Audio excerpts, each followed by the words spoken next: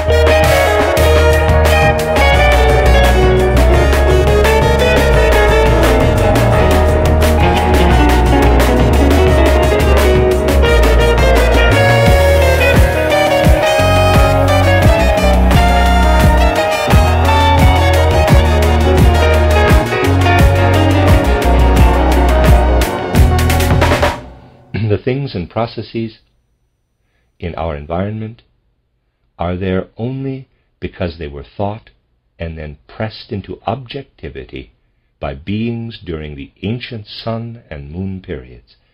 I think I'll read that sentence again. The things and processes in our environment are there only because they were thought and then pressed into objectivity by beings during the ancient sun and moon periods and it is not superfluous to give thought again and again to the seriousness that must underlie our movement. This seriousness is what must actually hold us together. We must truly meditate on the subject over and over again to be able to acquire the right feeling for much that causes our movement problems of this or that nature. If more of our members came to understand this, it would be possible to introduce more new ways of expressing this is indeed necessary. We participate in the soul life there. We have a world of beings rather than a world of objects surrounding us. And that in our time, only those individuals think truly materialistically who are either unable to think at all or else don't want to think.